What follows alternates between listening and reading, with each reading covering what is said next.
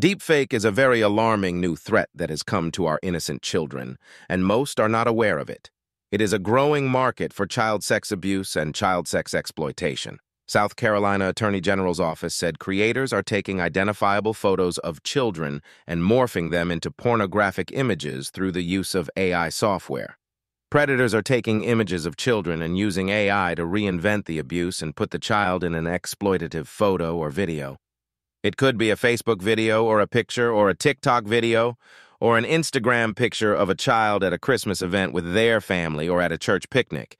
And that picture is lifted up and used with advanced software AI to basically show a child who has never been abused in a sexual exploitive manner, said Attorney General Alan Wilson and some other so-called conservative organizations are not realizing this grave danger. For example, PragerU founder Dennis Prager believes AI-generated child porn is not evil.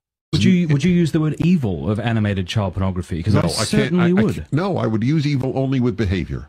That's where we might differ, Yeah. forgetting the sex issue. You can't be evil.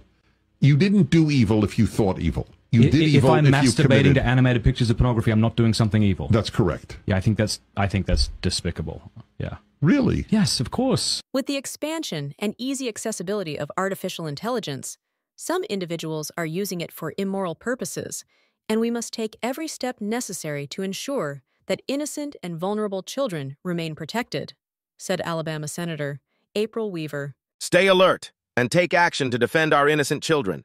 Join our grassroots action team, website, Public Advocate USA, Orga.